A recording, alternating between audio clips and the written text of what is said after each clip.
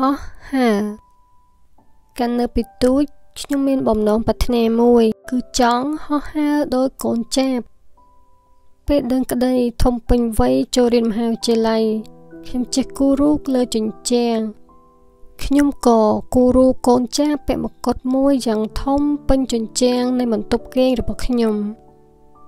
រូបភាពមួយផ្ទាំងនោះខ្ញុំគេងមើលជារៀងរាល់ថ្ងៃ ហើយខ្ញុំតែងតែគិតក្នុងចិត្តថា ថ្ងៃណាមួយខ្ញុំនឹងពាក់ស្លាព្រួយហោះហើរឲ្យខ្ពស់ទៅឲ្យឆ្ងាយ តាមតែចិត្តខ្ញុំចង់ទៅប៉ុន្តែពេលវេលាបានធ្វើឲ្យខ្ញុំផ្លាស់ប្ដូរព្រោះការហោះហើរដែលគ្មានគោលដៅវាពិតជាគួរឲ្យខ្លាចណាស់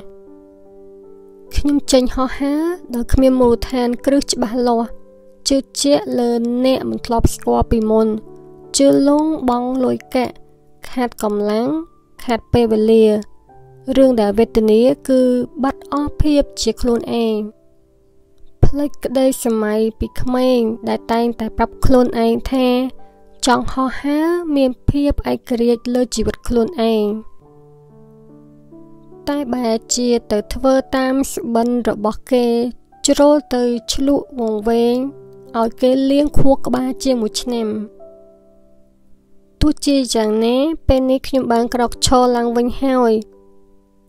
ហើយក៏កាន់តែឆ្លាតវៃជាមុន កាន់តែមានបទពិសោធន៍ពិតៗនៃជីវិតជាងពីមុន កាន់តែស្គាល់ចរិតពិតនិងចរិតសម្ដែងរបស់មនុស្សច្បាស់ជាងមុនម្យ៉ាងទៀតនៅពេលនេះខ្ញុំកាន់តែពុះពៀសម្រាប់ក្តីសុបិនរបស់ខ្ញុំមួយនេះ កាន់តែខ្លាំងក្លាជាងមុនទៅទៀត ហើយឈានទៅធ្វើអ្វីដែលខ្ញុំស្រឡាញ់ធ្វើអ្វីដែលខ្ញុំចង់បាន ដោយមិនមានការនឿយហត់បើទោះជាពេលខ្លះជួបឧបសគ្គជួបការនឿយហត់មិនសប្បាយចិត្តហើយខ្ញុំកាន់តែរីកចម្រើន នៅក្នុងការគិតចែកជាគំនិតជូនអ្នកបានអានបានស្ដាប់ ជួយជាគំនិតបើកការតាំងចិត្តឲ្យអ្នកកាន់តែតស៊ូក្នុងជីវិតព្រោះមនុស្សយើង ធ្លាប់ដួលមិនប្រកាសថានៅតែបន្តដួលរហូតឯណាបើសិនជាអ្នកខំស្រវែប្រឹងក្រោកឈររួចតាំងចំហទៅមុខទៀតច្បាស់ណាស់អ្នកនឹងទៅដល់គោលដៅនៃភាពជោគជ័យក្នុងជីវិតរបស់អ្នកជាជាមិនខានចូលធ្វើខ្លួនឲ្យស្រាដោយស្លាបសัตว์គ្មានបន្ទុកគ្មានការបង្កត់បង្ខំគ្មានការបង្គាប់បញ្ជា តែកុំចិត្តស្រារហូតបោះបង់ជីវិតខ្លួនឯងចោលដើម្បីបង្ហាញចិត្តស្មោះឲ្យនរណាបានឃើញ